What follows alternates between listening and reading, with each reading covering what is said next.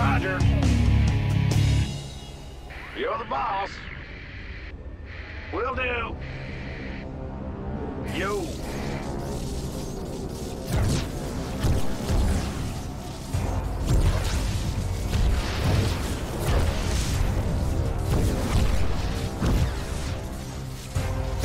Go ahead.